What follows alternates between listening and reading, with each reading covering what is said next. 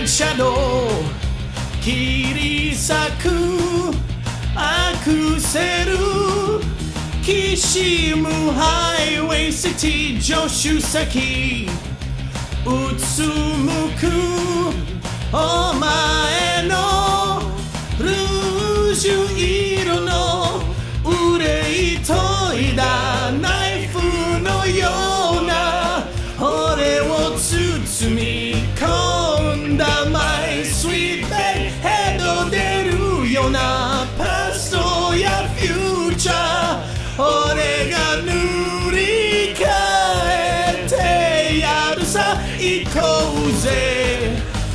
二人きりの絵で一に億二億百億のキスを浴びせてやるベイベーこの腕抱いてお前を二度と話はしないマシンガンキスで just fall in love. Whoa!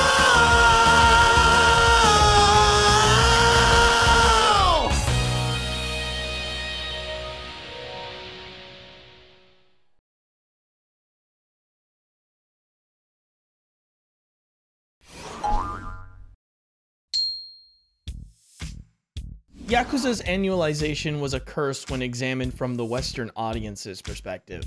Nagoshi believed it wouldn't survive as a franchise if it didn't remain consistently on store shelves, so the Yakuza series is knowingly designed around their short development cycles. Except you're waiting an extra year on localization and missing out on some of those entries due to a low public interest in your area. Then, once you do get it, the localization has erased part of the Japanese identity of the video game taking place in Japan which you bought to play as a character running around in Japan. And while you're playing the new Western Yakuza release, the next one in the franchise had come out two days ago. You knew there was a version of Yakuza 1, 2, or 3 out in the world with more authenticity. You knew a Yakuza 3 existed containing cut content you wanted, or one starring Kiryu as a samurai warrior in feudal Japan. You knew there were versions of the Yakuza trilogy calling Kiryu Kiryu and not Kazuma. Yasuhiro Noguchi knew the state of Yakuza's localization could have been better. You can thank him for correcting how the series referred to Kiryu in the West. It was a subtle change that I fought for to de-westernize certain aspects of the legacy localization changes from Yakuza 1. Given the context, it would have been awkward if Kiryu was the only one that went by his first name. Noguchi acknowledged fans were upset by the removed content in Yakuza 3 ensuring the Western version of Yakuza 4 shipped with Mahjong, the Hostess bars, and the Hostess management minigames intact. He even fought for the translation of signage and product ads exclusive to Japan. His work effectively laid the foundation for the series' future success outside of Japan by doing what past efforts didn't retain the authenticity of Yakuza's world. Fans were elated. The wait for a new Yakuza was worth it. Yakuza 4 didn't break sales records or explode in popularity, but it did give Western fans the Yakuza experience they had been clamoring for since the first one this is a bit of an odd statement because Yakuza 4 had a completely different approach to its overall design, largely affected by its brand new narrative structure. We need to talk about Yakuza's development team leads. They're everywhere and always. Whether or not they're placed in a director's chair, the team of leads are this constant rotation of a handful of individuals working together regardless of the power structure. Their growing familiarity with one another was inevitably going to reflect itself in their combined work, so it was no surprise Yakuza 3's emphasis on brotherhood would then evolve into Yakuza 4's multiple protagonists. Nagoshi revealed three new playable characters in addition to Kiryu, Masayoshi Tanamura, an arrogant beat cop who joined the force to investigate the mysterious conditions surrounding his father's death.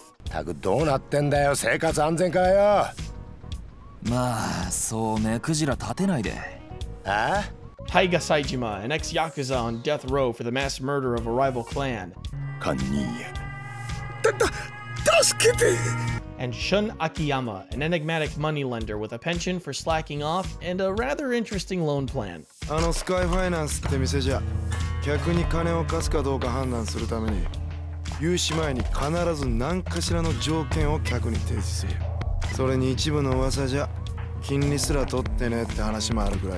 protagonist would have their own playable sections, with a central narrative tying them together. And this was the best thing Yakuza could have ever done for itself. Hell yeah, you go girl! The multiple protagonist approach allowed the Yakuza team to recontextualize existing gameplay elements against different characters.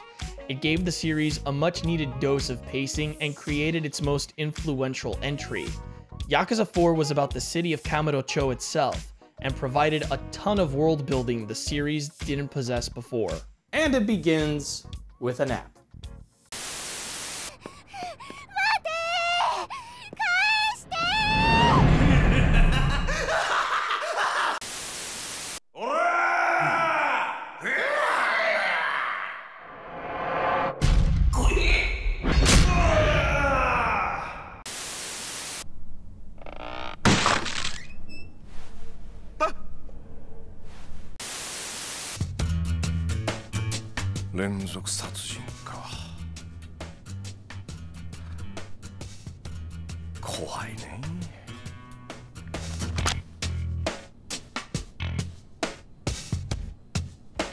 This is Akiyama, and he's a slouch. Luckily, he's got someone just like Haruka to keep him honest. Hmm?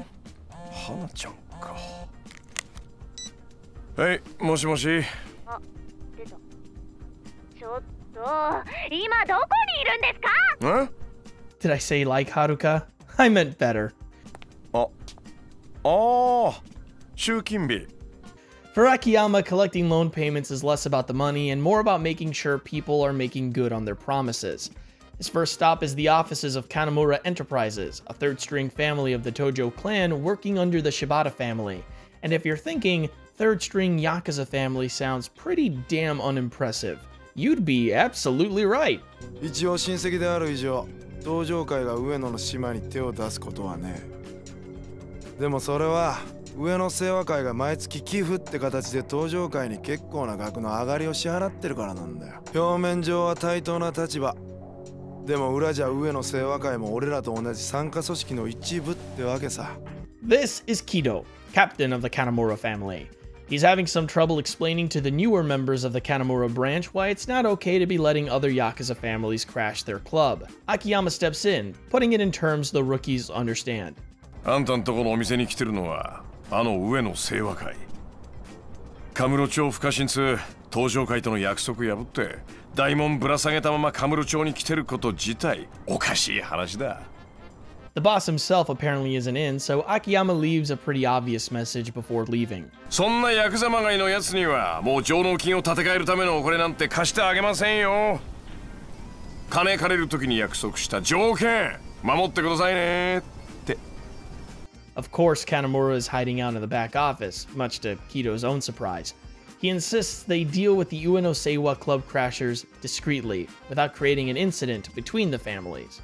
あまり荒っぽいことになるのは避けた方がいいとは思いますがああ新井の兄貴なら丸く収めてくれるとは思うんですが、うん、そうだなとにかく事を荒立てたくない Keto sees the system as something to follow and is upset someone isn't following the rules.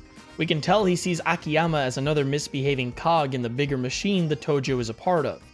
とにかく奴の考えてることはよくわからんただ一度秋山から金を借りた人間は二度と奴から金を借りることはねえそうだ Akiyama operates against loan office schemes, taking clients away from Yakuza owned businesses, thus disrupting their extortionist practices. He seeks out the people at the bottom of the system to provide them with financial assistance. People like a third string Yakuza family, Ironically, Akiyama's behavior benefits Kanemura Enterprises, and he happens to be in the right place at the right time. Araida. Wakatta. Elnado da na. Arai, the soon-to-be new head of the Kanemura family, is headed to the club to deal with the problem. So Akiyama does what he does best, use the rules to his advantage to help someone else. 何もんねこれ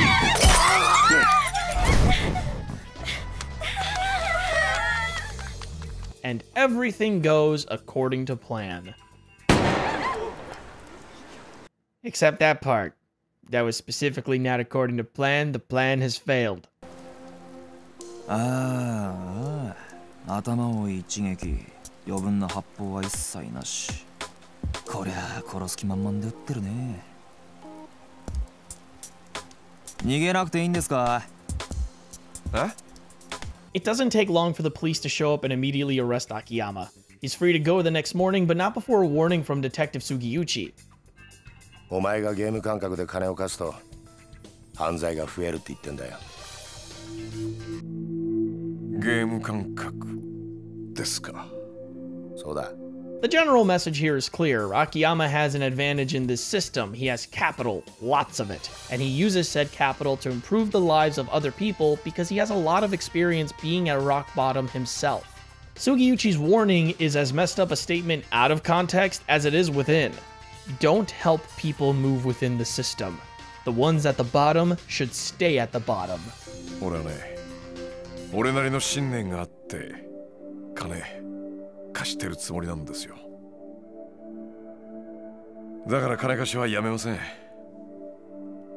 もういいですか早く帰りたいんで金村が死んだよ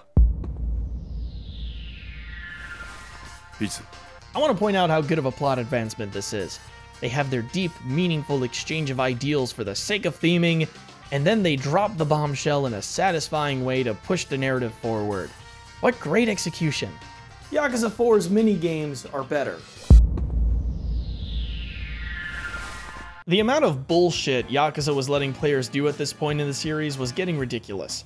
If Yakuza 3 was a dead giveaway about short development times ultimately hurting the quality of a project, Yakuza 4 was evidence of giving said project a little more time in the oven, vastly improving its outcome. An extra year of working with the same assets gave Mahjong special animations for calling winning hands. An extra year in the barrel doubled the amount of UFO catchers and gave each one different platform structures, forcing changes in strategies to collect prizes. An extra year gave us Boxcelios 2. It was just like Boxcelios 1, but it had 3D movement and it was legit. If Boxcelios 2 had a son and they left the country for business, I would take care of their son. I would tell their son about how great a person Boxcelios II was, and then I would shed tears thinking back on the life Boxcelios II and I shared together, including, but not limited to, the day I gave birth to our child. Because Boxcelios II's son would also be my son, because we were in love, and I begged Boxcelios II to give me the business. And if you managed to make it to the final level of Boxcelios II, you unlocked Boxcelios I. Double the Boxcelios for double the fun. A menage a trois where I'm getting Eiffel towered by the Boxcelios ships. Let's make it happen and the slot machines were replaced with pachinko. Uh, yeah, yeah, that's fine, I guess. Whatever. They're more or less the same, except one is infinitely more interesting to look at. I'll take it. Golfing had improved ball physics, and the controls were remapped to allow for more precise shots. The batting cages had a greater variety of challenges between each difficulty. The hostess bars were given new animations, a special introduction visit to meet all the hostesses, and sometimes random requests from the women for food or drink. And not wanting to end the tradition of adding something new every time, Yakuza 4 added sexy table tennis at a bathhouse. Because why not, I guess? Table tennis was about charging up your swing and then releasing at the right moment to rally the ball back at your opponent. Going back and forth for long enough would build heat, which would then allow you to activate a smash attack. Smashes were difficult to rally, making harder table tennis matches about rallying with perfect timing, forcing your opponent to dash from one side of the table to the other, and smashing after building heat. Oh, I get it. Sex. It was a welcome addition to Yakuza's cavalcade of fun, minus the weird sexual overtones okay, I get it, but I don't get it. Who's the guy in the office getting off on ping pong balls bouncing off a lady's chest? Whose grandpa is this for?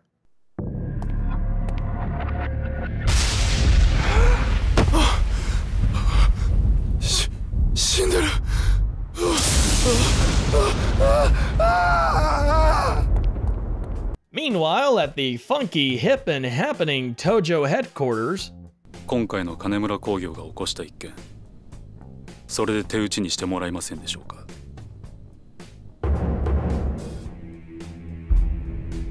w o w you can tell the clan isn't doing too hot. Look at all these jobbers a n d captain positions.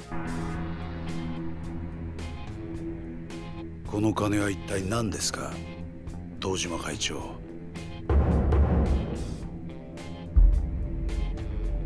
Murdering Ihara, the purple suit from the bar incident, has upset the relationship between the Tojo and the Ueno Seiwa. Although we already know the Ueno Seiwa can in no way compare to the Tojo, Daigo is looking to smooth things over. They even bring out old man Shibata himself to grovel in front of Katsuragi. 東上界の直系の親分さんともあろうお方が都内の一勢力でしかない組の若頭にそんなに頭割いちゃいけませんよ。Katsuragi appreciates the gifts. The stack of money, the big assertion, the Tojo and Ueno Seiwa are equals, the decaying third knuckle of a 50-year-old man, but he asserts Ihara was something of a hero to his clan. そうです。あなた方がチンピラ同士の喧嘩くらいに思っていたこの騒動。実は上の清和としては幹部組員を失うというとんでもない被害を受けているんですよ。God, he is such an asshole. Daigo's offer isn't working, so he asks Katsuragi what he wants. He declares it's only fair to have Ihara's killer brought to justice, and if Arai has somehow gone missing, for the Ueno Seiwa to be given control of the lucrative Kamurocho Hills area, or a Tojo captain of equal value. so, Majima-san. それはそう、真島さんです。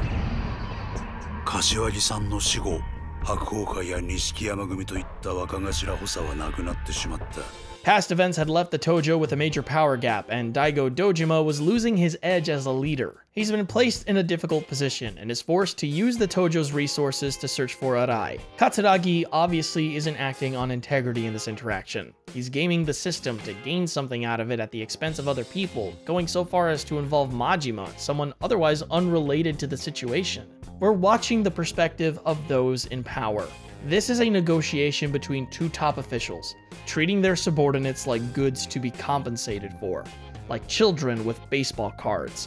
Arai, Ihara, and Majima are spoken of in the same vein as Kamurocho Hills. They are negotiating with human lives. Akiyama could use a break, but Kamurocho is full of people in need of financial assistance. Sky Finance ってこちらでよろしいんでしょうか？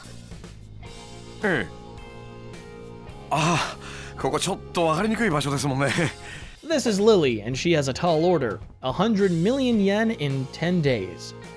保証人や担保なしで無制限にお金を貸してもらえるというのは本当でしょうか With no guarantor and no collateral, it's sketchy, but before Akiyama can mull it over, she gets cold feet. や、やっぱり無理ですよね。そんな話。そうですよね。すみません。私どうかしてました。この話忘れてくださいちょっと待った貸さないとは言ってませんよまゆっくりお茶でも飲みながらお話ししませんか He agrees to loan her the money if she can pass his test. She has three days to make three million yen at l s e Akiyama's hostess club. でもテストに受からなかったら時間の無駄遣いになっちゃうわけなんだけどどうしますそれでもテストの方受けてみますか The next day, the two meet to prepare her for the job. They hit it off and grow closer and then kiss on the rooftop underneath the silvery moonlight. But it's interrupted by the Shibata family. Akiyama makes short work of them and decides to call it a night. Lily and Akiyama's meeting was beat for beat classic detective novel storytelling. The mysterious damsel enters the private detective's office while he's in between work and asks of him a staggering request. The private eye is skeptical, the damsel's response is short and fickle, and because the dick's curiosity is piqued, he insists on taking the case. This seems like a lot of information to sift through despite it only making up the first few hours of Yakuza 4, but the pacing of the narrative was remarkable when you consider the challenge of delivering one through multiple viewpoints. Their method was a no-brainer, dividing the content. In an interview with Gamasutra, lead director Jun Orihara put it simply, an important element of Yakuza 4 is that both the playstyles and the backstories of the protagonists impact the way they relate to their surroundings. The studio gave each playable character their own unique activities and barred them from others to help diversify what players would be doing at different points in the game. The plethora of sub-stories which used to swarm the map every chapter were grouped into exclusive chunks for each protagonist. Avoiding sub-stories meant avoiding some of the most memorable parts of the series, so most people would tell you they tried to play through as many as they could. In previous Yakuzas, we're talking about tens of hours in one chapter to get through all the sub-stories. This was a long time, and to be honest, really exhausting. Let's be real, how many different stories can you tell with Kiryu before you start asking yourself why he's being solicited to invest in tuna? Yakuza 4 never lost the momentum it was trying to maintain and opened an opportunity to cater each sub-story towards each individual. With three other personalities to choose from, a broader range of scenarios were now possible, Stories unfitting for Kiryu to be a part of could now be told using the others. At an average of 16 sub-stories per character spread out among 4 chapters each, they were suddenly much more accessible and neatly organized into the gameplay loop. All the minigames and features we were used to were readily available playing as Akiyama. He was also in charge of scouting and managing the hostesses working for him. Hostess management hadn't changed much, but later on, other characters could visit Elise and meet the same hostesses Akiyama had trained. His sub-stories revolved around testing loan clients and rewarding those he judged good of character. いい女を抱きたい、金持ちになりたい、えばりたい。どんなちんけなもんであっても、ここに集まる連中には皆それぞれの夢がある。だがその夢を叶えられる奴はごくわずかだそして人は夢を諦めない生きていくのに必要なもんだからさ Akiyama wants to see people reach the success he has, and seeing them do it makes him happy. His faith in Arai is largely due in part to Arai saving his life when he was homeless, but also because he sees Arai as a strong enough leader to show the people of Kamurocho their dreams are possible. みんな夢を見続けていたい。だからこそこの町では人に夢を見せられる人間が求められているんだ。While Lily works at Elise, Akiyama goes off on another collection run, and coincidentally finds Drama Queen, the bar Lily previously worked at. 大女優んああ、いや、カムロ町にしては変わった名前のお店だなと思いまして。Someone nearby explains Drama Queen is a Joso bar, and the owner specifically only hires Joso to run the place. I've got a bone to pick with whoever localized this section of the remaster, because whoever did actively undermined the efforts made by this remaster to be less offensive. Do you see this word? It's a word I, while writing this script for a stupid internet video, decided to research to ensure wasn't offensive to use. Turns out it is. Don't use this word. This word is offensive. It's a bad word. You might remember me saying offensive content was removed from Yakuza 3's remaster in the last Questrospective. It largely revolved around an insulting set of sub-stories involving a Joso, and a very bigoted Kiryu. The Japanese remaster redubbed Akiyama's lines relating to this word with the positive and acceptable word Joso, but the offensive term is still in the English localization of the remaster.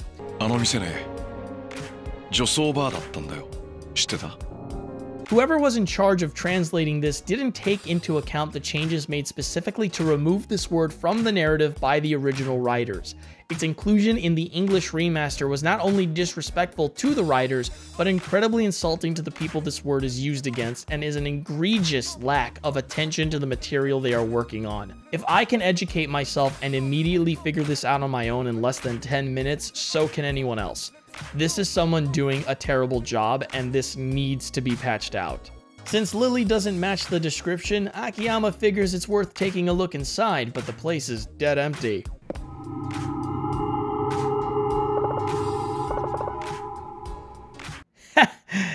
Nailed it. A brief investigation reveals the owner was a Shibata family member. The body's been here for a few days, so how does Lily own a fresh lighter from the establishment? Akiyama returns to Sky Finance to an unwelcome surprise. Hana-san! hana Kido was kidnapped along with Sky Finance's transaction ledger. One big action sequence later, Akiyama interrogates the thieves and learns the Shibata family hired them to find Lily. With more questions than ever, Akiyama returns to his office to think things over. In time, Lily passes the test, and the two rendezvous at the top of Millennium Tower for a good old-fashioned femme fatale reveal. どうしてリリちゃん人殺して回ってるの金村工業の組長を殺したの君だよね Our detective has put the pieces together, realizing the bodies of both Kanemura and the owner of Drama Queen were killed in similar ways. Lily couldn't have been working at Drama Queen for the obvious reasons. だから君が働いていたというのはおかしい。なら君は一体いつそのライターを手に入れたのか He makes the Shibata connection. The men from their date night were after Lily, not him. Then he gives her a choice. If she tells him who she really is, she won't have to repay the loan.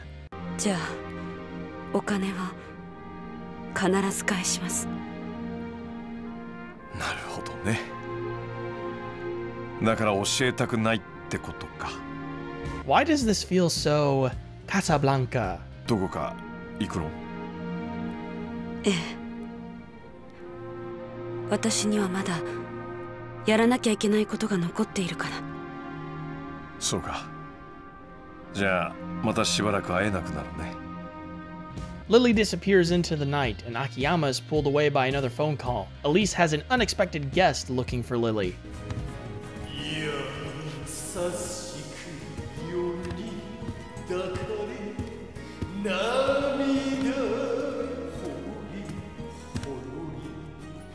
And you thought my singing was bad.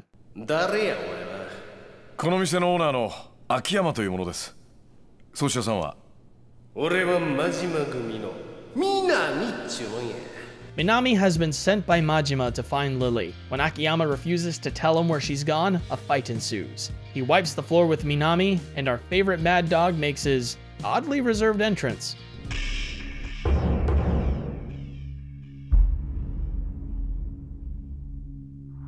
Akiyama presses Majima for more information, intent on learning more. Yasuko-chan wa ore ga akan ne ya.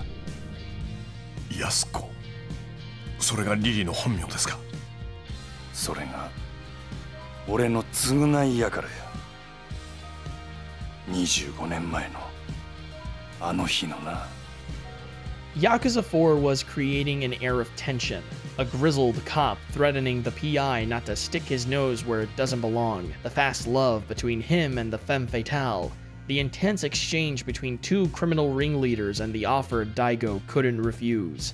Akiyama was against the status quo. He was against keeping people in their struggle, against the idea of refusing to help someone trying to follow their dreams. He wasn't alone, but he was the only person using his opposition to the status quo to help others. When Arai broke the code of conduct, it was to put a bullet in a cornered man's head. When Katsuragi was manipulating the Yakuza's sense of honor, he was doing so at the expense of Ihara's life. Even worse yet, Daigo buckled under demands despite knowing Katsuragi was misusing the relationship between the clans to his advantage. But this was what Akiyama's story was about, establishing those in power can abuse their power, and the people who could stand up to them don't, in fear of losing what power they have themselves. It isn't simply about going against the grain, but using those actions to better the lives of people around you, and protecting them from those at the top trying to keep them under heel. Akiyama didn't have a seat in the Diet, but he had money, and new money made the world go round. He used it to help others break free of their place in the system. But even so, Akiyama was particular about whom he gave power to, and his fickleness would eventually come back to haunt him.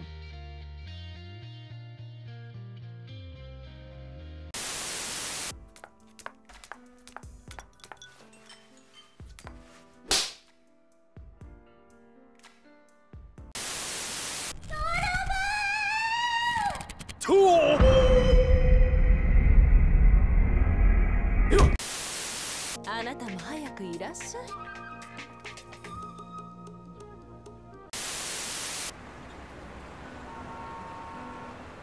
Ooh, hey, who's this eight-foot-tall wall of handsome? 冴島、お前本当に安子ちゃんを残したままでいいのか試してみたんや。how about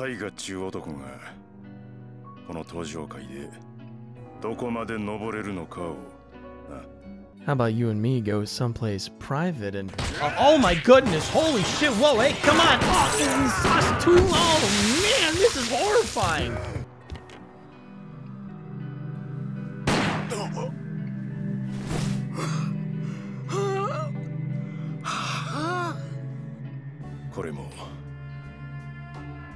味が天下取るため上野さん Sajima's story was an old school prison break movie with opening text crawl, a transfer to an Okinawan prison island, and your obligatory, hey, you the guy what killed our boss on the outside, scene to establish his raw badassery. The big guy has resigned himself to death row, believing his actions have helped his boss, the patriarch of the Sasai family, ascend the Tojo ranks. He's a product of the Yakuza, a young kid adopted by Sasai and brought up to be one of his enforcers. His rampage 25 years ago was a service to the man he was indentured to. It's a complicated weight he's forced to live with, until someone we recognize updates him on the outside world.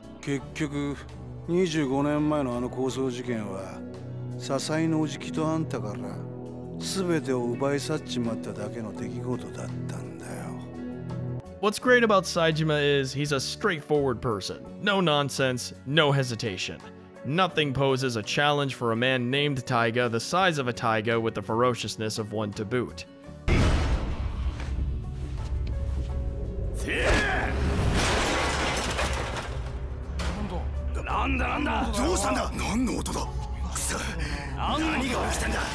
Elegant, beautiful, efficient. Saejima and Hamazaki work together to break out, and we catch a glimpse of Yakuza 3's compassion finally paying off.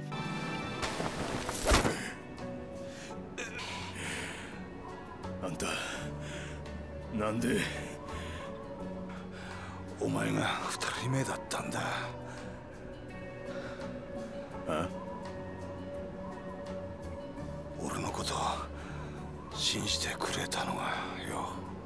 The two get separated in their escape, and by separated, I mean... Hamazaki! Yeah. Luckily for Saijima, Hope finds him washed up on her doorstep. And then the coolest thing happens. Oh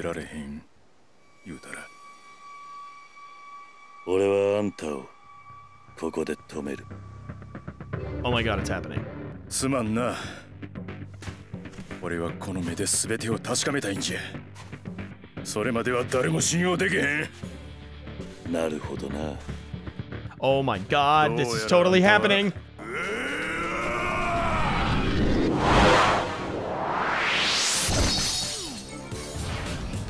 Yeah! We knew Kiryu was going to be one of the playable characters, but the real twist was his introduction as an integral boss fight. His moveset was entirely intact, like staring into a mirror for veteran fans, and it made a great comparison between Saejima and Kiryu's strength.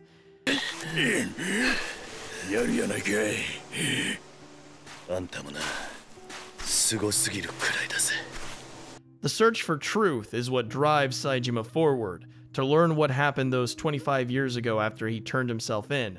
Despite the initial doubt, it's a goal the Dragon of Dojima respects.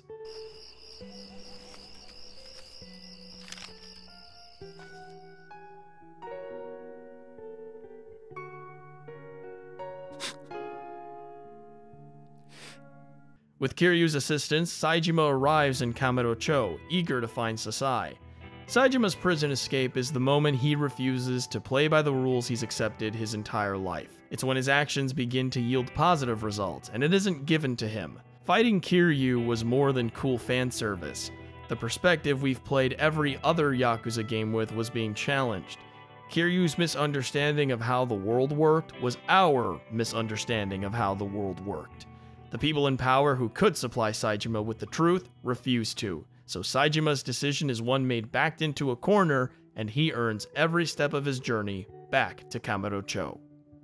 A side-by-side comparison showcases how staggering a difference an extra year working with the same space can improve an overall aesthetic. More detailed and populated signage and narrower buildings gave Kamurocho a dense, commercialized feel with hundreds of businesses and homes stacked onto one another. Noticeably higher resolutions on textures prioritized the aggression of the city's marketing, and an equally aggressive lighting change casted harsh shadows from the lights of colorful ads over their target audience. NPC density in Yakuza 3 was a way to distract from noticeable imperfections or plain environmental details. This overcrowding was reduced in Yakuza 4 so the city could become the subject of our attention. Yakuza 4 took place exclusively within Kamurocho's seductive alleys, Surprising considering the last two entries made efforts to include locations outside of Tokyo. The lessons learned in Sotenbori and Ryukyu paid off. They couldn't build Kamurocho outward or drastically alter its roads, but they could build it higher, and lower, and even lower than that, and maybe through it in some cases. Rooftops, sewers, an underground mall section, and even a little Asia district were added to Kamurocho. These provided an alternate means of navigating the city and created new spaces for additional shops and sub stories. As we shifted from one character to the next, so did Kamurocho's shape. Routes through the city changed depending on who we were controlling. We took to the rooftops with Akiyama and then incorporated the roofs and the sewers into Saejima's police evading movement. He eventually meets Kido and through him, the florist, an underground informant who's been helping Kiryu out since the original Yakuza. The florist agrees to locate Sasai for Saejima if he participates in a death match within the underground coliseum. Saejima mops the floor with the guy and with his exhausted victim lying on the floor, the crowd demands the blood they paid to see.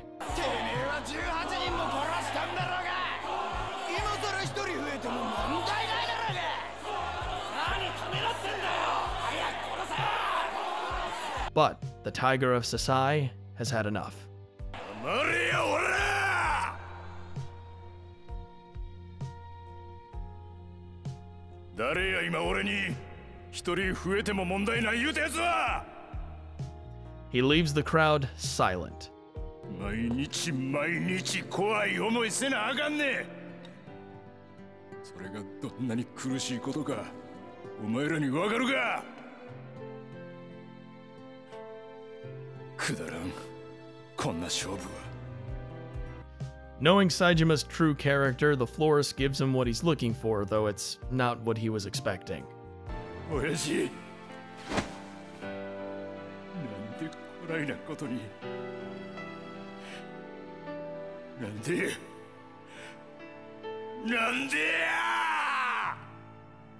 It's a bit goofy hearing this yoked Olympian man talk about the horrors of taking a life inside an underground coliseum full of rich folks paying money to see a bloodbath. The scene isn't so much about the setting as it is the subjects. Saejima is a victim of the system. His debt to a man with power led to his eventual indenturement to the machine. The hit he carries out on a rival Yakuza family is a desperate attempt to make good on his debts. The Yakuza were the only options Saejima had left to make any difference in his life, so he followed orders. He did what the system told him to do. Then the system forgot about him. The system shipped him to an unmarked prison where he was treated like an animal, and when he finally left prison and returned to the system, it demanded him to perform. A crowd of rich so and so's asking a poor man to kill for their entertainment is a crowd of cannibals, getting off on the idea of people below them performing degrading acts. They are the ones in power using people like Saejima as scapegoats for their twisted desires. And despite everything Saejima had done, Sasai became a frail, broken man, and both their names were forgotten by the Tojo clan. His story represents the futility of working your way up through a system designed to oppress you, of what you represent to the people up top, of the purpose such a system has intended for you. Saejima had spent his entire life working for the benefit of an establishment designed to keep him at the bottom, believing it would eventually care about him. As he worked against it to improve his well-being, he was met with the most resistance, but also the most progress. Now he was on the run, and he was taking you along for the ride. If Saejima came too close to a police officer, a chase sequence would begin. Chase sequences had a few new bells and whistles. Quick turns gave you a speed boost and a 90 degree pivot to instantly round a corner, alleviating the jank of trying to outrun someone in tight spaces. Throwable objects were another option to lower your prey's stamina with well-timed throws. Enemies could use these objects too, preventing easier chases from being too non-interactive closing the distance wasn't always safe anymore. A special heat move could be performed by the person being chased, which could knock the pursuer down and reduce their stamina drastically. But if countered, the pursuer could return a volley of kicks, usually damaging enough to end the chase completely. Again, Yakuza 4 took the somewhat dry aspects of Yakuza 3 and gave them more to do. Chase sequences went from an inflatable obstacle course to a round of Ninja Warrior by comparison, avoiding environmental obstacles while dodging projectiles and sometimes even multiple pursuers. It wasn't simply a difference in polish, there was more creativity involved, more enthusiasm in considering how the smaller elements could contribute to a larger chunk of gameplay. This enthusiasm added depth to smaller interactions and established the pace players would encounter them. Saejima didn't sing. Saejima didn't understand the point of hostess bars. Saejima couldn't be seen in public places. Instead, Saejima gave players access to Purgatory, the underground coliseum, and a dojo where he could train apprentices in becoming the ultimate fighters. Apprentice training was an old school tycoon simulation, you had 50 turns with each apprentice to train them with the goal of winning one of the Coliseum's tournaments. You were in charge of their daily training regimen, could take them out for drinks to raise their motivation, and have them participate in exhibition matches in order to win prize money for the dojo's upgrades. Each apprentice had different strengths and focuses, and while you couldn't control them during a match, you could cheer them on and call for a finishing move. It was a fun departure from the usual glam Yakuza tried to include in all of its distractions and had a full storyline dedicated to it. Apprentices interacted with one another, and the dojo itself became more popular the more successful Saejima's efforts were. It showed off Saejima's true nature a patient teacher, of strong character but few words, blunt but endearingly so. The more you learned about Saejima, the more you began to understand he wasn't the violent person others made him out to be. Minami is waiting for Saejima when he returns to his hideout. He tells him to head to the Millennium Tower if he wants answers. 冴島さんは後悔してないんですかお前も今からなんやでかいことでもしでかそうと思ってんのかそれで迷ってんねやろキドちゃん腹くくれ極道の勝負中のは一度しかない自分の人生かけてでも勝負する価値のある瞬間が来た時は腹くくって勝負せえ Once there, Majima himself exits the elevator hallway and escorts his sworn brother to the batting cages where Saijima demands answers. The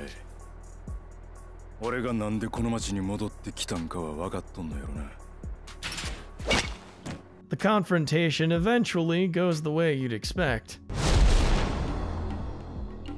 Majima, Technically, Majima loses, but it's more of a soft tie. They reconcile,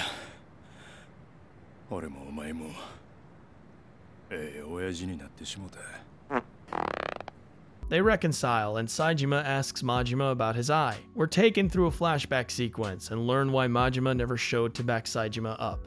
Majima-san, 今日の襲撃堂島組の人間であるあなたは言ってはいけないこのまま襲撃に向かえば堂島組長いや島野さんにも迷惑をかけることになってしまいます In calling off the hit, the Shibata family left Saijima to take the fall, acting out as a lone gunman instead of on behalf of the family. Shibata keeps Majima occupied inside the warehouse to prevent his interference with the plan, where he's eventually subdued and, well,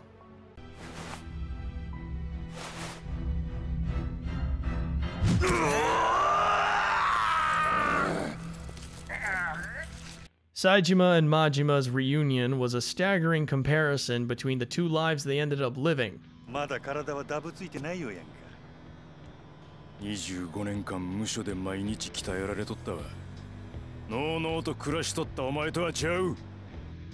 rose through the Tojo ranks, owned one of the largest Tojo families, and possessed its greatest asset, the Kamurocho Hills area. Even so, he had lost a great deal in the process, the ones he loved, and a part of his identity. Although Majima definitely had privilege Saejima could never dream of having, it was only given to him after subjugation and punishment unjustly enforced upon him. He was forced to bear the consequences of actions carried out by others against his will. Saejima's forgiveness is their reconciliation and his acknowledgement of how the system, regardless of where it placed the two, did so for the benefit of those in greater power.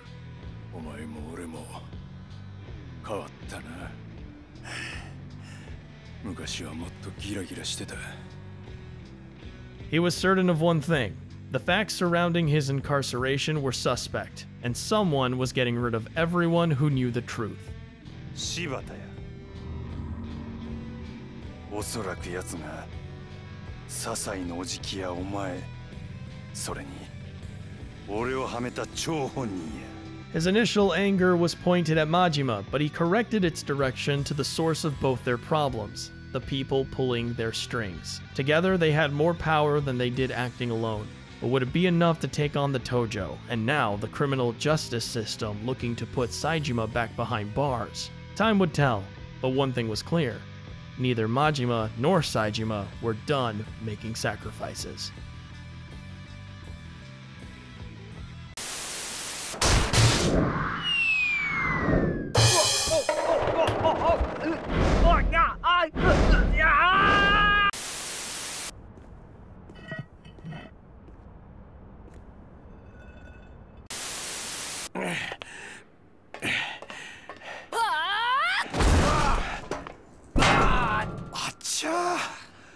間に合わなかったか。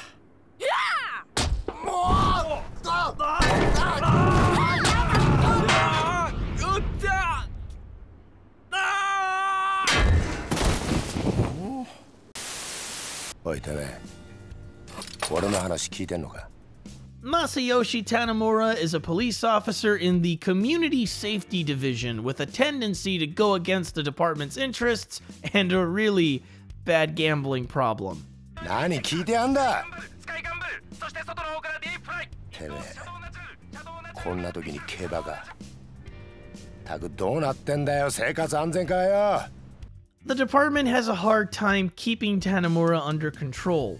He's got a penchant for shaking down illegal businesses, but the money goes to services providing aid to the undocumented workers being taken advantage of by those businesses. The department calls him the parasite of Kamado Cho, a none too subtle nod at his loyalty to the city's immigrants. 子供はまた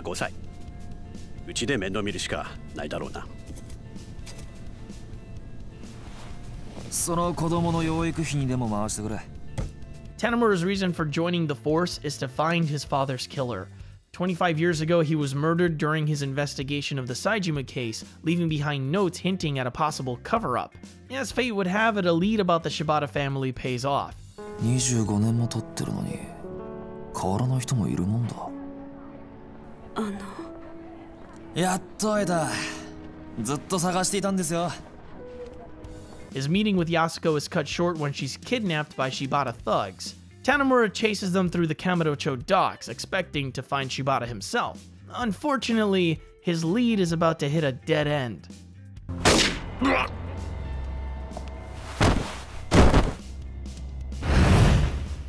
He takes Yasuko back to Little Asia. He eventually convinces her to tell him about the killings, the purpose of the 100 million yen, and about Katsuragi's extortion.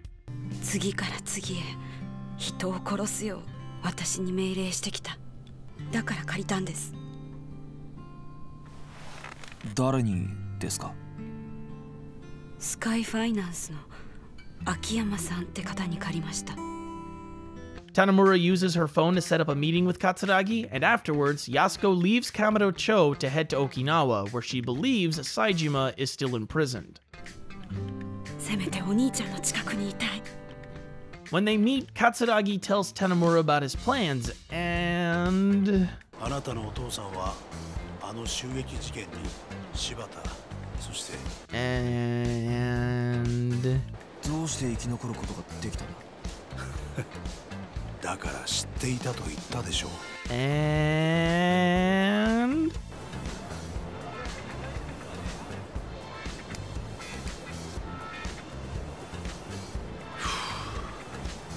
And it's taken. Well, at least they're not sitting on a couch this time.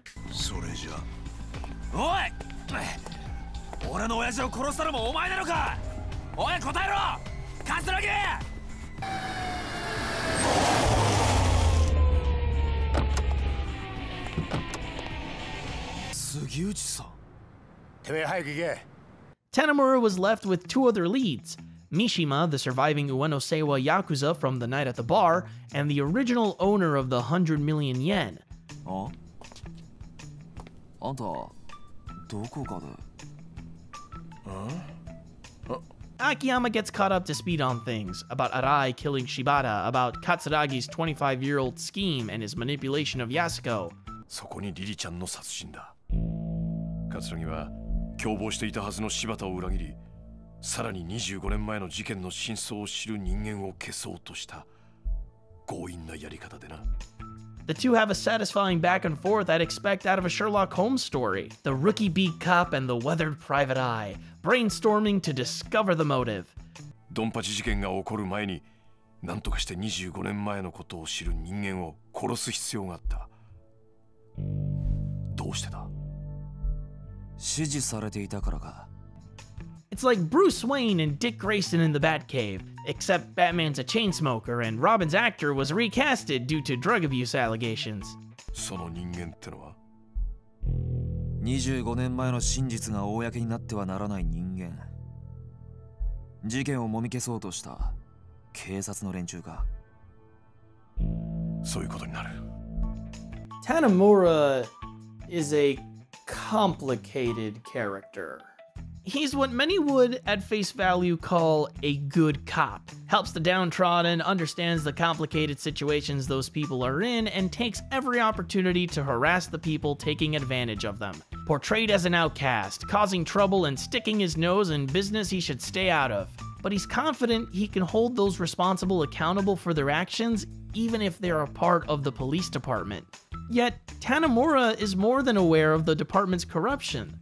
警察ってのは嫌なやつが多いとこです捕まったら無理やり自白させられてしまうかもしれませんよ Tanamura works alone. Tanamura trusts none of his peers. Despite that, he still believes he can carry out justice within the corruption of the police department. Akiyama can move freely within the system, Saijima is a victim of the system, and Tanamura begins as a believer of its mechanisms, just not who's operating them. Meeting Akiyama convinces Tanamura to start questioning his beliefs. Akiyama is the one who convinces him to keep his other lead to himself. He points out Tanamura is clearly suspicious of his superiors, and their deliberation connects the shooting at the Shibata-owned nightclub to the Saijima incident from 25 years ago. もしあの新井さんが裏でつながっていた葛城の命令であのドンパチ事件を作為的に起こしていたとしたらまあ葛城は柴田と共謀して登場会を乗っ取ろうとしていた。Meaning, if Tanamura's assumption is correct about a police cover up, calling in his meeting with Mishima would be certifying his death. But Tanamura stays on the path, insistent on doing things the way he believes is right. And although he's beginning to get doubtful, he's hell bent on solving the case. Now, things get interesting. Akiyama sets the stage and discovers the mystery. Saijima is the mystery's victim, while playing as them, the pacing was relatively slow. Tensions weren't high, people weren't in immediate danger, the pieces were still being moved into place. Hostess management and apprentice training reflect this pacing, two slow-moving activities to invest time into without feeling a sense of urgency to proceed with the next story objective. But Tanimura was chasing answers to a decades-old murder case and coming across them fast, Tanimura was busy. It wouldn't have made sense for him to fall into a subplot about, I don't know, parking tickets or something. And maybe at some point the king of parking violations would challenge him to a boxcar race. What, what, what, what, what, what, what, what, what do you want me to say? It's a Yakuza game, of course he would. Instead, Tanimura carried around a police scanner and worked with the city's community watch. Every so often, the police scanner would go off, reporting a crime or civil disturbance. These crimes weren't set in any specific location, they were proximity based and procedural, meaning at no point were you too far from a disturbance or compulsively sweeping every street in Kamurocho Cho for them to activate. They conveniently occurred alongside any sub-stories or main quest objectives, resulting in their own sub-story unfolding simultaneously alongside other narratives, some which required responding to disturbances in order to advance them.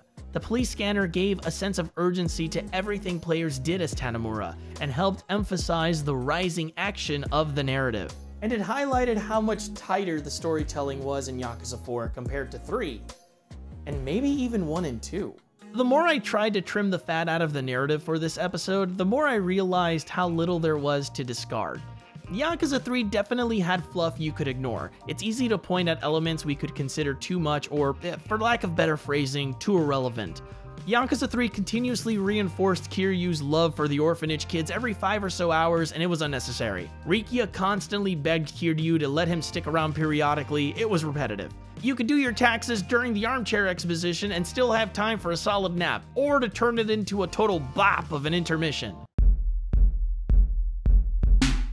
In Yakuza 4, the situation was different. Because we had a shifting perspective, the information we learned was always relevant to our interests as the player and to the main plot. Akiyama's interest in Yasuko tied him to the mystery and returned as an effective motive for him to help Tanimura. Saejima's bout in the Underground Coliseum reintroduced the florist into the world Yakuza 4 was re-establishing, but it also painted Purgatory, a place previously thought fondly of, as the real den of terrible people it's supposed to be. Even the exposition heavy scenes, though certainly long in the tooth, were focused on specific questions relevant to the story at the point they're discussed. It wasn't wasteful. Every part of Yakuza 4's narrative held a purpose. Tanimura heads down to the docks to meet with Mishima, and it goes south pretty quickly.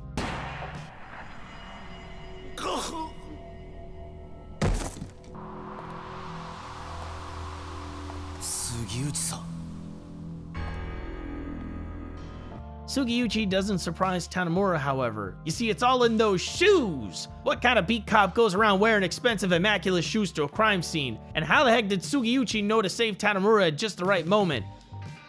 Okay, so maybe it's not just the shoes. そこまでだ。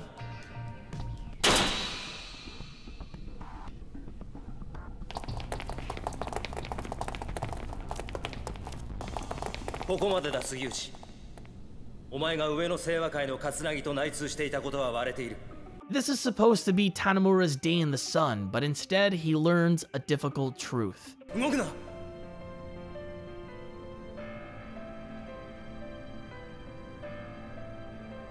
ってんのかよ須藤さんよここで撃ったらあんた終わりだ He's right. Sugiuchi is protected because he's a police officer. None of the other officers in this warehouse truly have the power to stop him without risking their own careers and more. これが警察って組織がひしこいて守ってる正義ってやつだお前にも分かったかじゃあな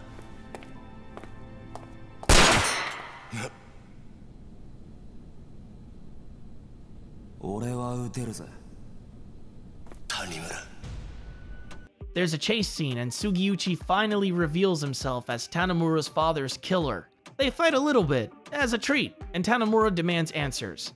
Why? なんでなんで警察官が警察官を殺さなきゃならねえんだよ違うんだって。俺はな、そもそも警察官じゃねえ。Sugiuchi reveals he joined the police force as a spy for the Yakuza. He and Katsuragi are also sworn brothers. カズラギだということを俺の親父が知ってしまったからあんたは親父を殺したのかそんな簡単な話じゃねえ We return to the day of the incident. As Saejima walks out of the bar none the wiser, Katsuragi stirs from his shock, as do a few of his fellow family members. Uh-huh.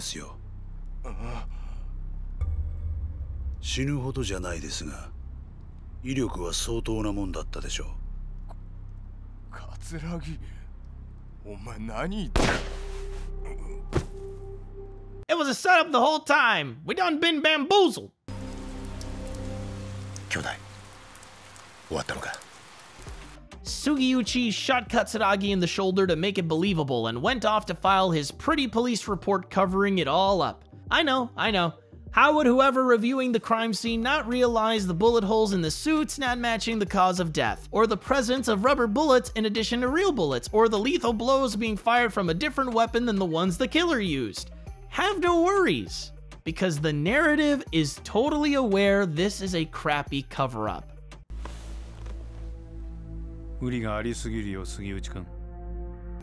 Deputy Commissioner Munakata was an eagle eyed detective and ripped Sugiuchi's reports to shreds. He pointed out all the inconsistencies, the deaths, the rubber bullets the killer somehow got their hands on despite being experimental rounds made by the police department themselves. How the hell did these two bozos think this was going to work?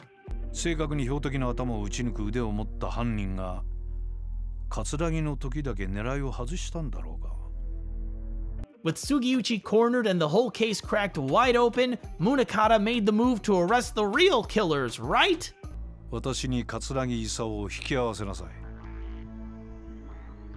そうすれば今回のこの事件、君の報告書通りの結末にするが。Is anyone surprised? Anyone? Date? Thank you, Date. Tanimura's story was focused on the enforcement of the rules, the false dichotomy of good and bad, and the problem with trying to change systemic issues while enforcing them.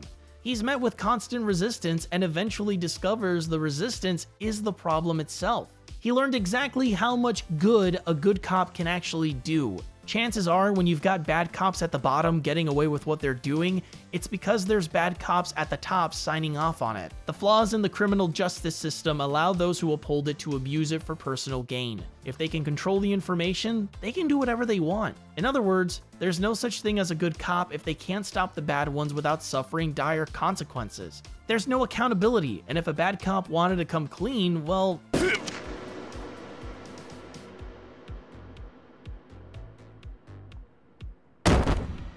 Now they're a liability to the status quo.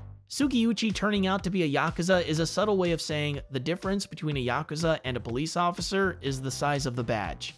Saejima's prison sentence captured the brutality of the police force. Tanimura debunked the misconceptions of police officers, one revelation after another preventing good-intentioned police officers from solving internal issues and showcasing how the system protects corrupt enforcers from persecution. Tanimura had an enormous challenge ahead if he wanted to apprehend the deputy commissioner, even with Akiyama's help. His sense of justice was intact, but it didn't matter. Who could he even report to? It was going to take a different approach. He had to change his perspective.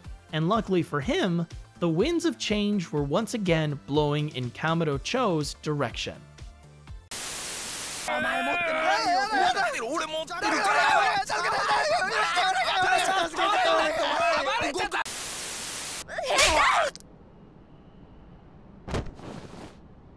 back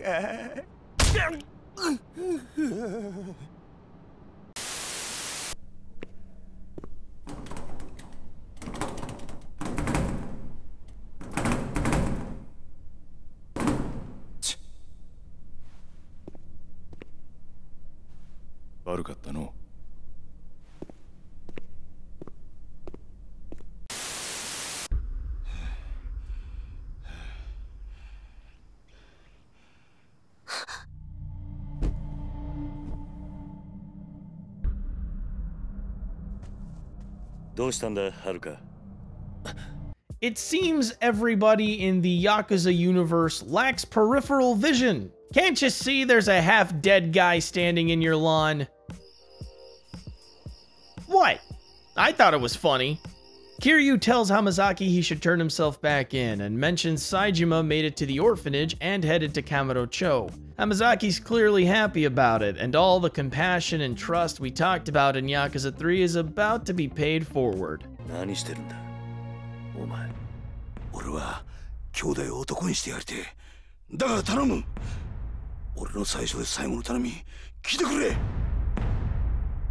He tells Kiryu about Saejima, about the secret prison used to extort Yakuza in exchange for humane treatment, and about the suspicious cover-up. He asks him to return to Kamurocho in order to help Saejima, but Kiryu's hesitant. Hamazaki pulls out a ledger he snuck out of the prison, showing the transactions going in and out of the penitentiary with an interesting amount coming from a certain dead politician.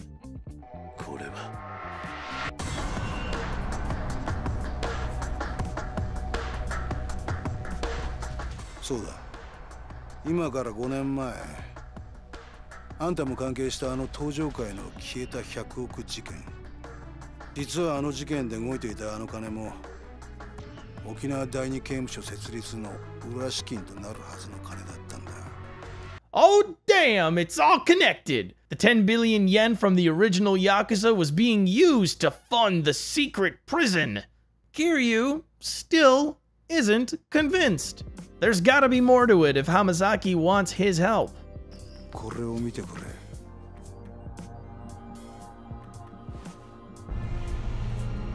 oh, man, someone scribbled their grocery list inside the ledger. I expected more professionalism from corrupt state officials. Munakata plans to get the Tojo to heel under his power in order to have complete control over crime with the intent to commodify it. The Tojo clan is in danger once again, and Kiryu is compelled back to Kamurocho. They take Hamazaki to the precinct because he wants to turn himself in, and they meet Yasuko, who's looking for Saejima but obviously not getting answers from the police. They exchange information, agree to head back to Kamurocho, and are ambushed by the prison wardens.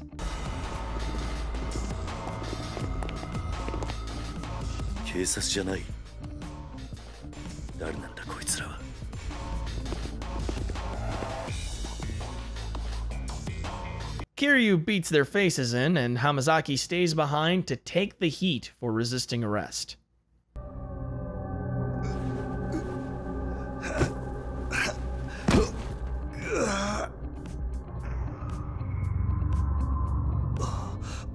The reason people hold Yakuza 4's narrative in such little regard is because it was challenging an opinion you've had since Yakuza 1. Of course, the knee jerk reaction is to cock an eyebrow and call it convoluted nonsense. It was asking you to change your perspective, for Kiryu to change his, and it made sure you were both listening. Yakuza 4 revisited the ending of its predecessor and swapped the character roles to prove a big point. For all the good he does others, Kiryu isn't proactive. Hamazaki rolls up to the place, and despite all the begging, Kiryu hesitates to involve himself until he spells it out for him. Hamazaki shows how far one can truly take their compassion. Once he realizes the situation Saijima is in, he stops acting for himself almost immediately. He didn't need a whole lot of convincing, unlike a certain Dragon of Dojima whom we personally know tends to require a great deal of it. どうやらいつものカムロ町って感じじゃないな。this is a different reaction to seeing Kamurocho than Kiryu's accustomed to having. With new context to the world around him, he's seeing the city through different eyes, and he's realizing it's not entirely the city he thought it was. What's great about Kiryu having a smaller story segment to grow inside of is the ability to give the character growth without it being in large quantity.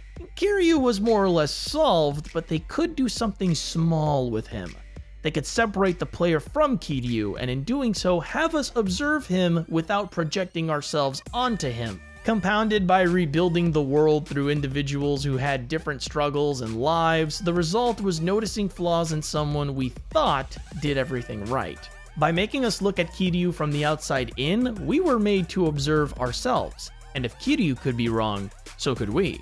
His section followed through with Tanimura's faster pacing, totally foregoing any standout unique activity, instead integrating a sub-story into exploration by giving him unique, random enemy encounters. As Kiryu, players fought members of different gangs instead of random Kamurocho NPCs. If he fought enough of them, they'd reveal their leader's location, unlocking a mini-boss and an opportunity to dismantle the gang. When one gang was beaten, another took its place, advancing a chain of sub-stories about each leader, eventually leading Kiryu to the mysterious foe inciting the gangs. We were getting close to the grand finale. Yakuza 4 began to funnel down to its core elements in order to maintain the impending climax of the story. Kiryu makes the obvious decision to enlist Majima's help in saving the Tojo.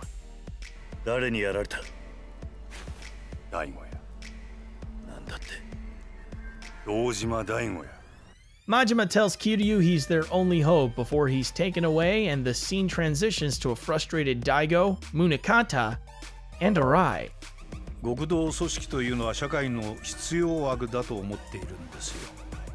we are watching the bigger fish eat the smaller one.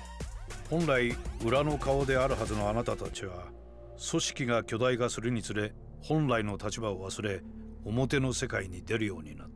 Munakata promises Daigo the removal of the Ueno Seiwa and the Tojo clan's safety if he promotes Arai to Tojo captain and allows him to act as liaison for the police department and manage the Tojo's operations. Daigo assumes Katsuragi has some sort of bargaining chip up his sleeve to prevent the deputy commissioner from eliminating the Ueno Seiwa, and he does.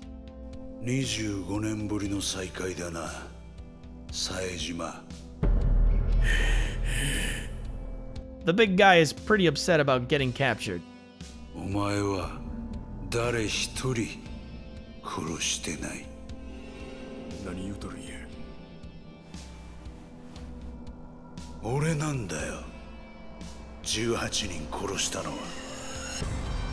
tries to press for more information, but gets nothing useful before discovering who sold him out to Katsuragi. スカイファイナンスの隠し金庫にあった現金1000億。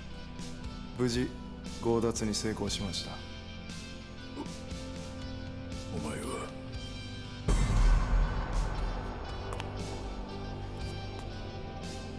お久しぶりです冴島さん Oof, this is starting to get complicated, isn't it?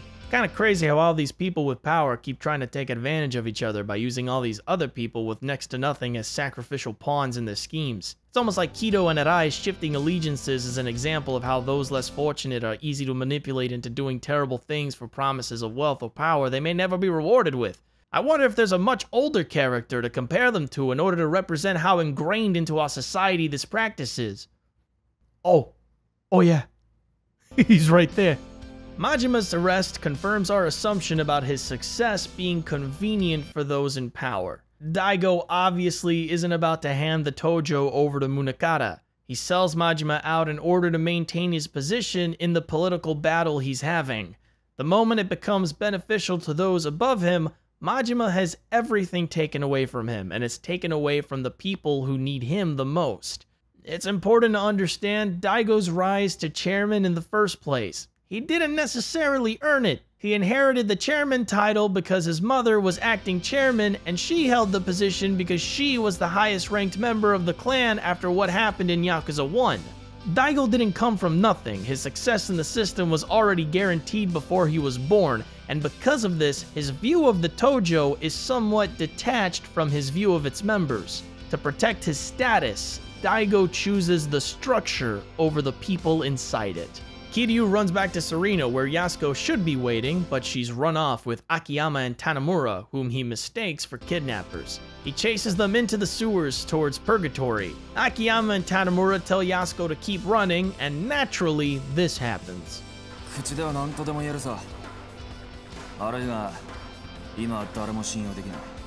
They agree to disagree with their fists 行くぞ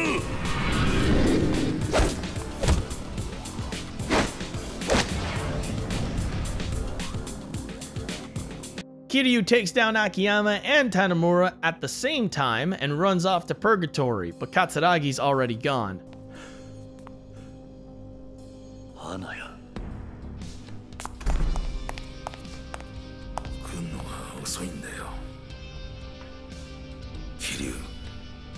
They reconvene at Serena, Tanamura meets Date, and Akiyama has a bad time. やっぱり金盗まれてたのか。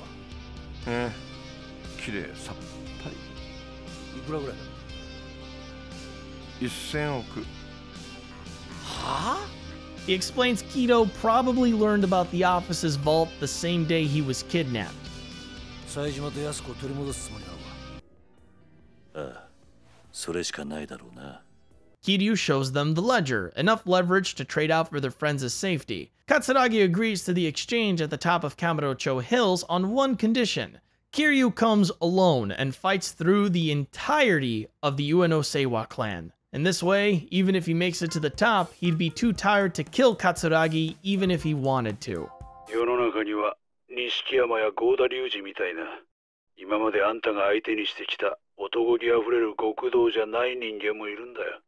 This man has been cruising for a bruising since the day he slid out the baby tunnel. With all the sabotage and double crossing going on, there's no reason for either of these two parties to trust anyone. Kiryu just finished learning about a secret prison and a cover up. Tanimura is assumed dead by the police department and trying not to blow his cover, and Akiyama's had his faith in Arai obliterated. All three of these individuals have had the rug swept out from under them, and they're not about to let it happen again so soon. It's a perfect example of how easy it is for the system they're a part of to turn its people against each other instead of focusing on their mutual problem, and it works because while they're fighting, Katsuragi gets away with both Saejima and Yasuko, leaving the three with a new problem to deal with. Fortunately, when you need to topple an entire clan of Yakuza, one dragon of Dojima is plenty. Kiryu steps into the Kamurocho Hills area, ready to do what he does best. Fucking somebody up!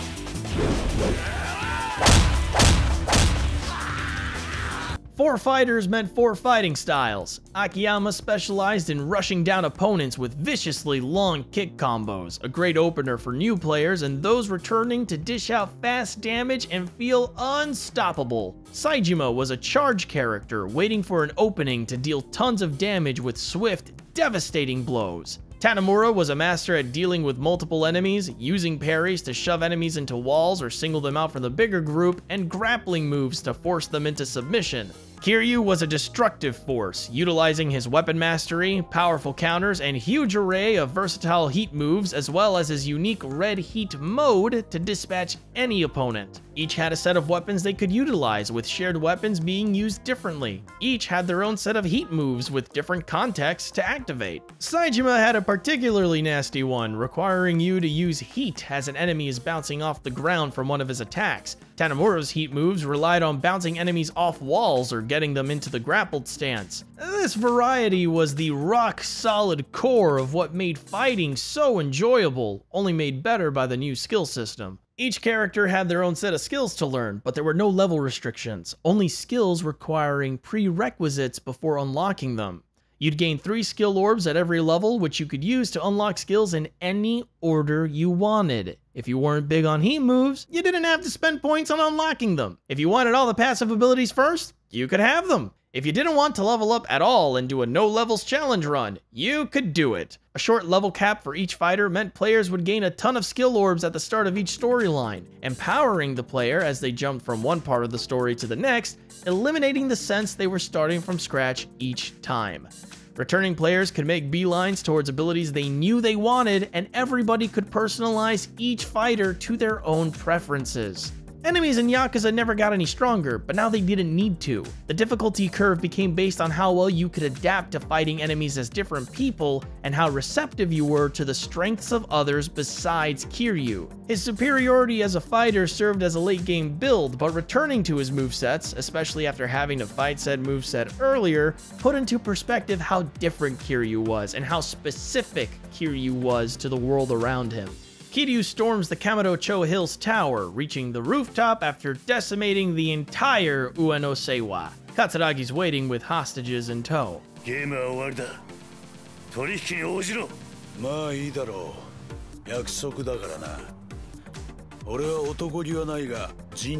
over. Ooh, you are such a rude bastard! I love it! Katsuragi's determined to be a two-faced liar to the very end, but Kiryu's not having it. He's focused on getting the deal over and done with, pretty standard for the dragon's modus operandi. Show up, solve the problem, go home, get chewed out by your daughter, cry yourself to sleep. Kiryu Kazuma-san this. They start the exchange with Yasuko, Katsuragi declaring he'll leave Saejima and the money with Kiryu once he confirms the contents in the ledger. But he's a big stinky liar who tells Kido to shoot them once he's in possession of it.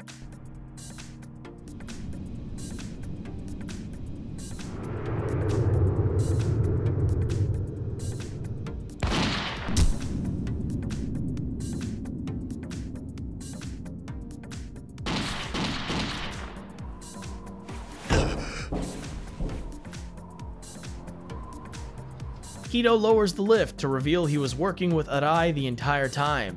Or was he?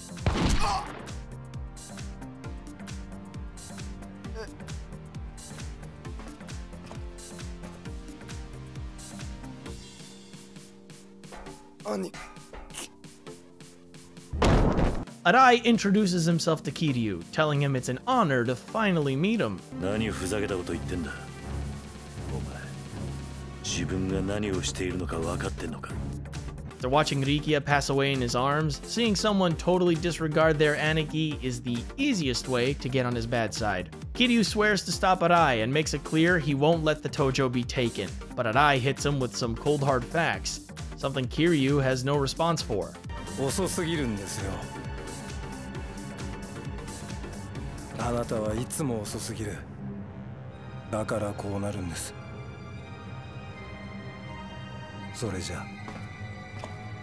This little squint Kiryu makes is an acceptance of what Arai is saying, because it's true. He's always too late. Yasuko frees Saejima, who immediately rushes over to Katsuragi. He flips him over and correctly assumes Katsuragi's wearing a bulletproof vest. Katsuragi tries to egg him on, but Saejima refuses to give in to his remarks.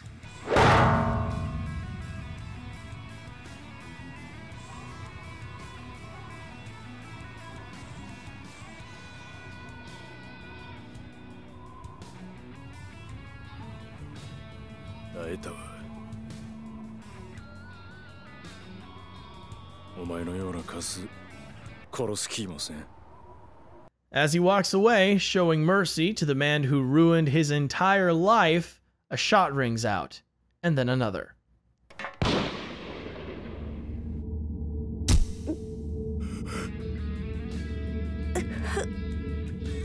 Yasuko gives her life to save Saejima's and uses what little time she has left to free him of his burdens.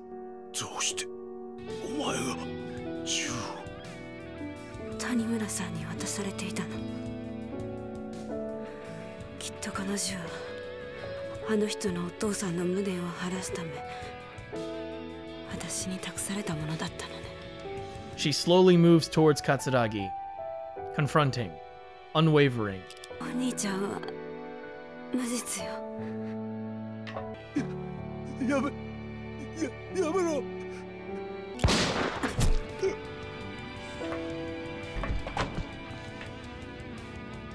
When you think he's already lost everything, Saijima loses the most important person in his life. Yasuko? Yasuko! 返事してくれやおいごめん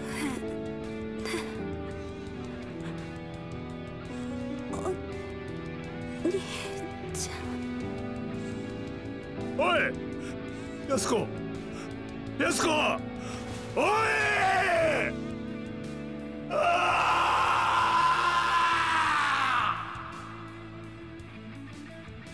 Katsuragi's unflinching demeanor in the face of being held accountable for his deeds deteriorates the moment his life is truly in danger. When those in power are confronted with the consequences of their actions, they're remorseless. They lie because it's convenient. They don't care how their actions affect others, so people get hurt. People die in the process, leaving the ones who survive them broken and malleable. The minute you turn your back on them or show them forgiveness, they will take advantage of it. These are the traits of a coward. For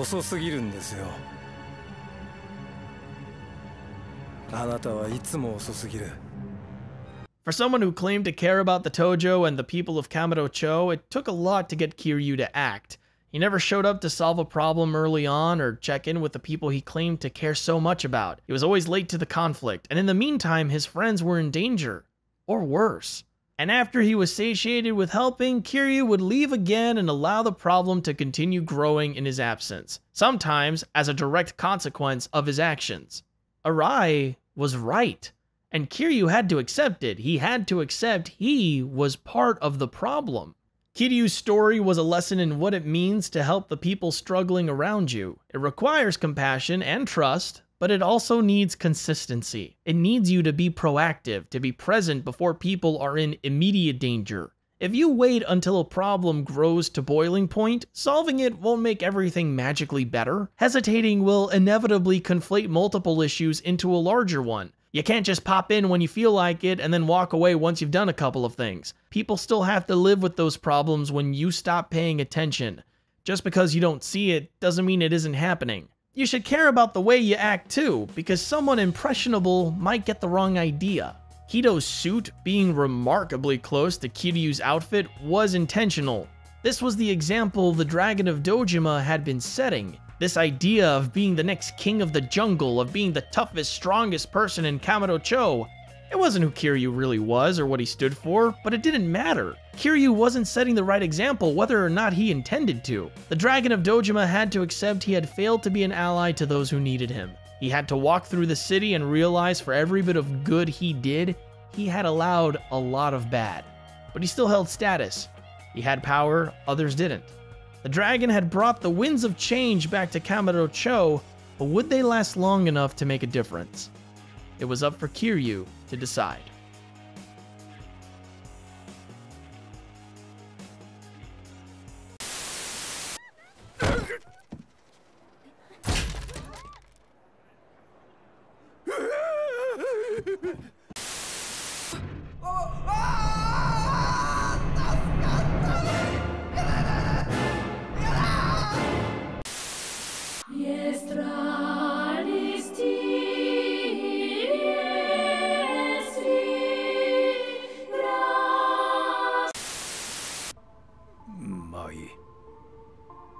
とかいうチンピラが一人生きていたとこで大した問題じゃない。Munakata's indifferent about Arai letting Kito live with a flesh wound. He's more concerned about Arai letting 100 billion yen fall back into the hands of our heroes and how he can turn them against each other. 人間誰しも弱みというものはあるものだ。沖縄に行ってこの子供たちを連れてきなさい。But unlike Munakata, even Arai has a line he won't cross.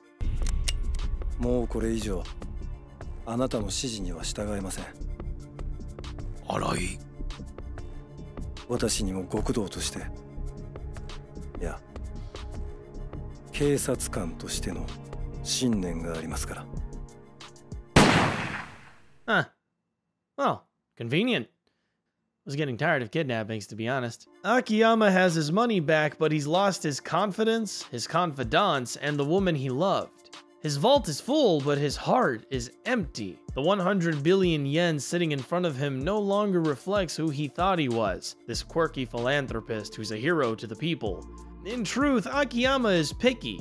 He's very specific about who he lends money to, and he makes people jump through hoops in order to earn his good graces. Haruka calls Kiryu to let him know Hamazaki has passed away. He silently accepts his actions as an individual haven't been enough. His skepticism of Saejima, his insistence on attempting to reason with Katsuragi despite Katsuragi's proven lack of integrity, and his lack of diligence have resulted in a situation far worse than he anticipated. And now people are suffering. People are dead when they shouldn't be.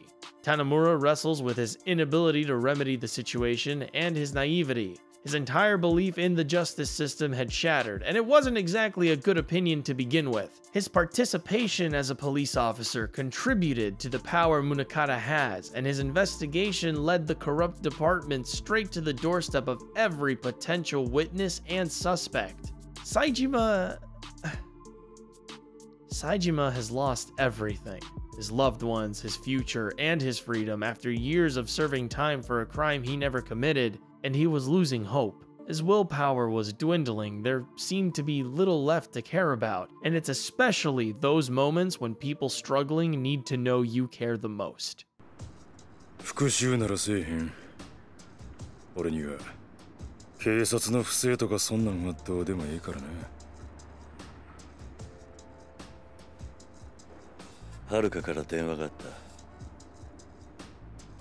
さっき浜崎が息を引き取ったそうだ何やと Kiryu tells Saijima about Hamazaki's last words, a request from him to them. 警察から登場会を守ってくれと。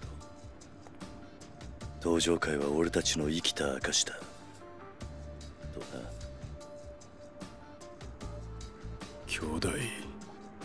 And finally, he admits the flaws in his own responsibilities. 40年も生きてやっとわかった俺もあんたも自分に正直に生きてはならない人間なんだ常に人から何かを託され常に何かを守らなきゃならない俺はこの数年そんな自分の運命に抗ってきただがもうそろそろ抗うのをやめようと思う Tanamura and Akiyama j o i n them いろんな人間の夢を叶えるためになそうだ俺らはまだやらなきゃならないことがあるんだボスザルは猿山にいてこそふさわしいここにいる全員まだやり残してることがあるんじゃないですかね Akiyama has a genius plan. Take all of his money to the top of Millennium Tower and just kind of wait and see who shows up. They don't know who the ringleader is, but by setting a trap using the money everyone seems so interested in as bait, they'll snag whoever it is in it. 軽い感じで話しちゃいましたけど一歩間違えば普通に死ぬかもしれない賭けだ覚悟はできてますね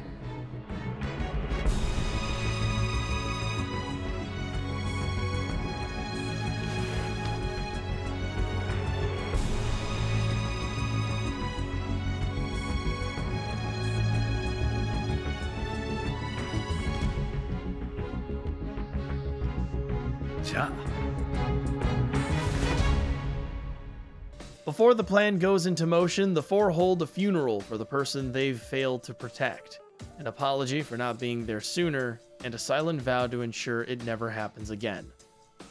And then, they go on the offensive.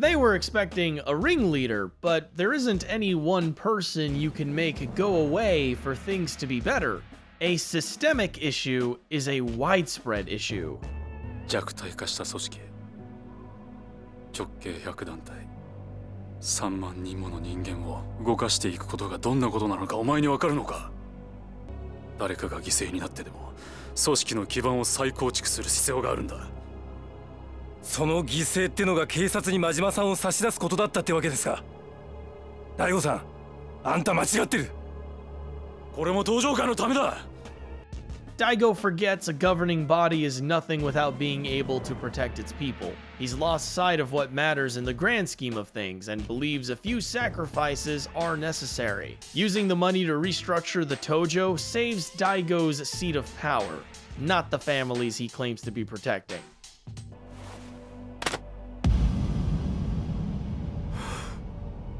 これは兄貴が刑事ああだがもう俺は違う俺は上司である宗方を裏切りこの手で殺した俺は運命に抗ってでも自分の信じる正義を貫くこの金もその正義のために Arai has his concept of justice ruined by Munakata's machinations and by his undercover work as a Yakuza in the Tojo. His shaky allegiances reveal his inability to work with others, and his brand of justice has already proven to be detrimental to innocent people.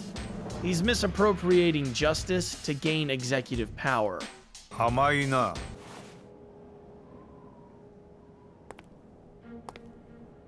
Ningen ni 千年以上前から決まっていることがある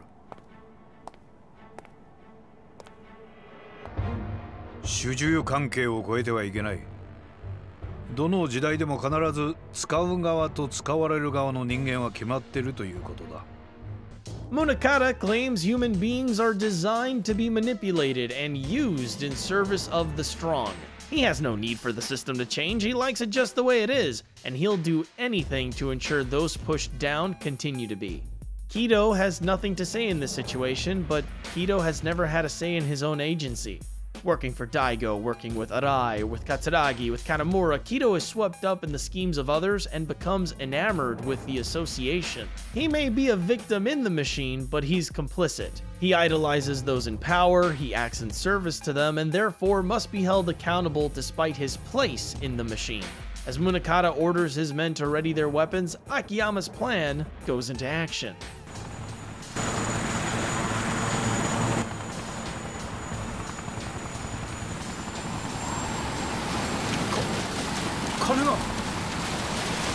all this talk about money and where it's going, man, fuck your money.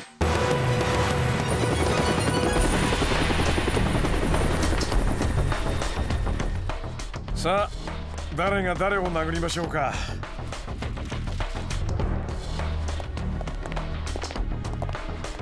Akiyama learns you can't pick and choose who's worth helping. If you're going to help those in need, you do it without prejudice. あんたが宗方を捨てたとこまでは認めてやるだが人の金を使ってまで貫く正義なんてありゃしないだから俺があんたを食い止める No one is above reproach, and no one gets to decide right from wrong on their own.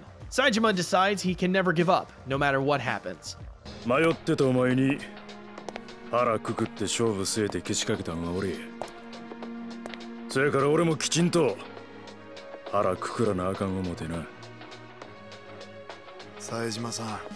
His fight against Keto is a tragic one. Two people with the same struggle made enemies by the powers that be. 極道のチャンスは一度きりだって俺は今感じるんです今がまさにその瞬間だってことをそうか Kiryu is ready to right his wrongs. お前には悪かったと思ってる。登場会をお前一人に押し付けたのは俺の責任だ。だから俺ももう逃げない。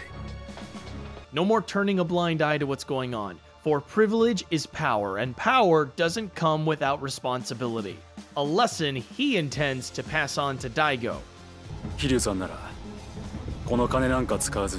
農場界を立て直してみせろって言うんでしょうねさあそれは分からないお前の立場になってみないとな来い俺が登場界という大門の重さきっちり体で教えてやるぜ Tanamura has had enough of being an extension of the machine. 俺はあんたみたいな自分の手を汚さない自分の足で動かない人間が大嫌いなんだ The power of authority is useless when the people who outrank you abuse it. Holding on to it will reinforce the argument that such authority should exist in the first place. So he does the only thing anyone with authority should do when they learn the problem is authority itself. やっぱりあなたは逮捕しません。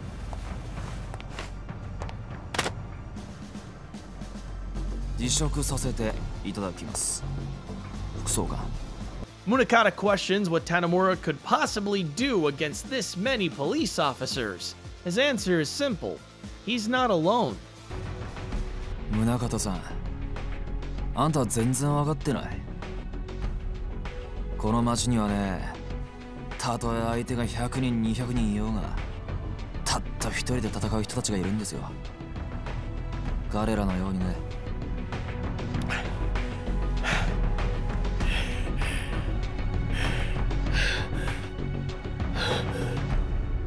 four of them defeat each of their opponents, ending with Tanimura's victory over Munakata. With nowhere left to run and no one else to hide behind, Munakata pleads with Daigo to do something.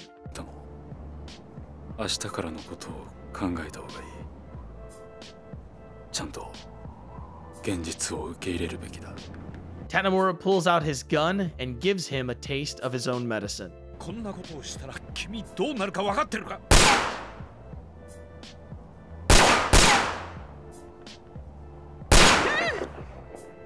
Arai steps in and explains to Munakata why Tanamura doesn't just shoot him.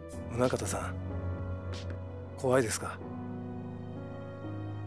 だがあなたがのし上がるために多くの人の命を奪った罪はこんな恐怖だけで償うことはできないあなたは死ぬべきじゃないあなたが利用してきた刑務所の中で一生この罪を償ってください私も一緒にお付き合いします At last, Arai, Daigo, and Kido, I guess, honestly, the message starts to get a little muddy here, begin to hold themselves accountable, leaving one stubborn old man to dig his heels into the sand. 警察というのは正義だ。この国の正義を司る崇高な組織だ。その警察の顔役たる私が逮捕されてみろ。バカな一般市民は混乱するだろうそんなことを警察が許すと思うがね He's right. The police would never allow it to go public and risk their own credibility, which is why you don't go to the people upholding the system when you want to change it. 結局お前たちがしたことは労力の無駄遣いだった。ということだ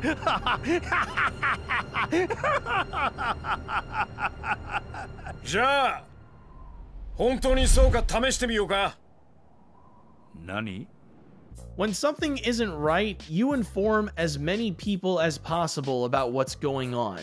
いいじゃねえか国民のためだ今さら家庭ごと言ってんじゃねえさら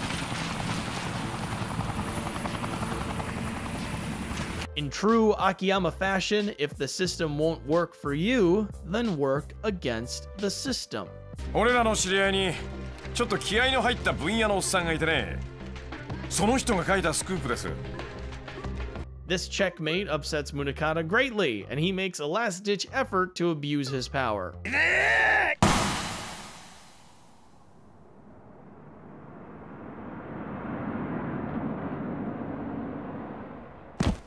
Except everything's fine. Uh.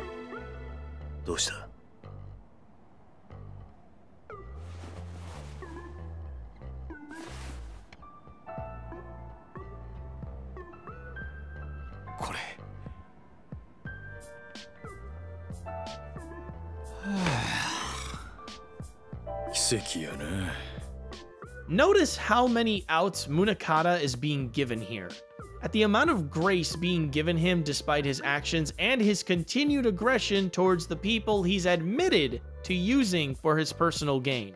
No matter what he does, the group is intent on seeking proper justice, but when demanded to acknowledge crimes against those they rule over, those in power will refuse until the bitter end.